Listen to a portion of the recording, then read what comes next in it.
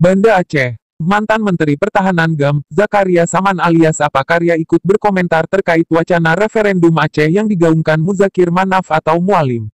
Menurut Apakarya, apa yang telah disuarakan Mualim adalah sebuah perkataan yang terlanjur dan wacana itu tidak benar-benar adanya. Hana Atanyan, Nyan Haba Mau Tajo, Kamu Tajo Hai Kakeu. Jadi, Jinu Tape Sengap Mantong. Hanjeut Atanyan, Tanyo Mantong menggantung bak MOU, referendum Nyan Hanjeut berangkaho dalam bahasa Indonesianya gini. Tidak ada itu, itu perkataan terlanjur, sudah terlanjur ya sudah.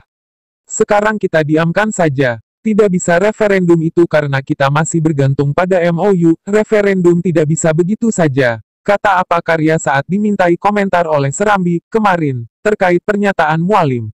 Menurut apa karya, jika benar menghendaki lahirnya referendum di Aceh maka kedua pihak tentu harus mengubah MOU, sebuah perjanjian yang sudah disepakati pemerintah Indonesia dan Gambelasan tahun lalu. Lalu apa karya mengatakan, Mualim tidak sendiri dalam menyuarakan isu referendum tersebut. Menurutnya, Mualim dibisik oleh pihak lain yang memiliki kepentingan pribadi atau kelompok. Bahkan, kata apa karya, Mualim sudah dibisik oleh orang-orang kecewa. Saat ditanya apakah itu berkaitan dengan pilpres, apa karya tidak mau menjawab. Lon hana lon pegah menan. Nyan mualim citka kenung jarom halo, kon pikiran bro jinyan, nyan pikiran gop.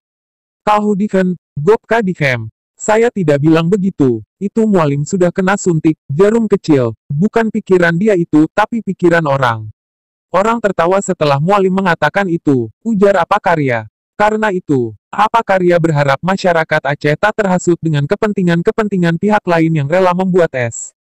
Hagadu, menurutnya, Aceh saat ini sudah damai, lebih baik memikirkan masa depan dan bagaimana menyejahterakan masyarakat Aceh, bukan malah menyampaikan sesuatu yang tidak mungkin.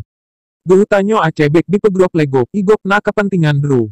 Tanyo tak jaga kepentingan Dru tuh, tak jaga kepentingan Aceh. Awak pegropnya awak putoh asa, jadi gehutanyo bek taikot. Kita Aceh jangan dibodohi orang lain. Mereka ada kepentingan sendiri. Lebih baik kita jaga kepentingan Aceh. Orang yang membodohi kita itu orang yang putus asa. Jadi kita jangan ikut-ikutan. Jelas apa karya. Di satu sisi, apa karya mengakui hingga kini pemerintah pusat belum sepenuhnya merealisasikan butir-butir MOU yang sudah dijabarkan dalam UUPA. Namun, itu tidak semata kesalahan pemerintah. Menurutnya, ada juga kelalaian elit Aceh sendiri dalam mengawal semua butir-butir dan perjanjian tersebut. Nyan salah drutuh pakon lale. Gehutanyo memang menan, wate rugu dit hanata paku, wate rugu le kataru ye mata. Maksuji, wate jinu hanata pereman, hantek wate hana metaro tek ye mata. Itu salah kita sendiri kenapa kita lalai. Kita memang begitu, waktu rugi sedikit enggak open, waktu rugi banyak berlinang air mata, pungkas apa karya.